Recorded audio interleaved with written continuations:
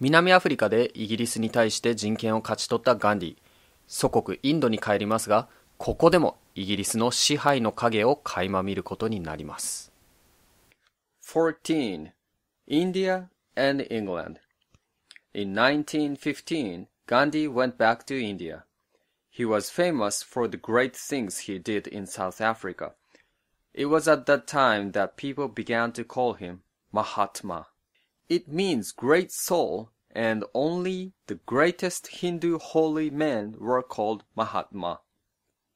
People called Gandhi great soul, but he thought that all souls were the same and that no soul was greater than any other. Gandhi did not care about what people called him.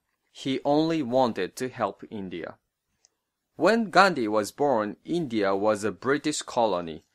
The first British people came to India in the 1600s and some parts of the country became colonies in the 1700s. By the 1850s, most of the country was a colony.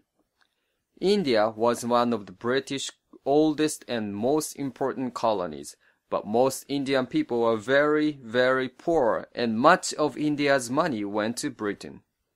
There were a lot of Indian people, but there were very few British. They used an idea called divide the rule to control the people. India was a country with both Hindus and Muslims, and often they did not like each other. There were also many other groups, and the British did their best to stop them all from joining together. The British were at the top of Indian society. There were the leaders, and many Indian people thought the British were better than they were. For many years, Gandhi believed this too.